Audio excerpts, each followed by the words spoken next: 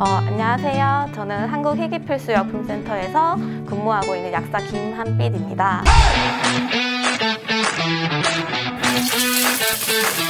직장인 한국희귀필수약품센터고요.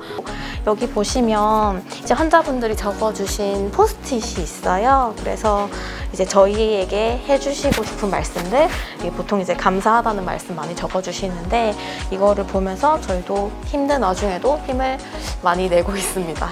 어차피 이게 온도가 유지가 안 되면 그 전화 울리면서 막 삐용삐용 하면서 알람이 뜨니까 언제든지 어, 냉장고에 문제가 있을 때 이제 냉장이 잘 안 되고 있으면 바로 바로 확인을 할 수 있고 이 질환 환자분들을 위한 약만 있습니다.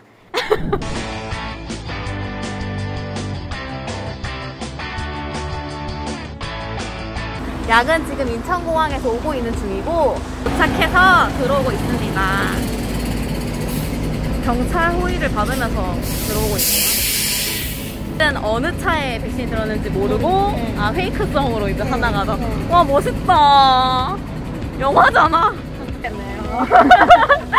저희 지금 여기 어, 전국에 계신 소수의 희귀 난치 질환자분들 항상 힘내시고요. 저희 한국 희귀 필수 약품센터가 항상 함께하겠습니다. 언제나 힘내시길 바랄게요. 화이팅!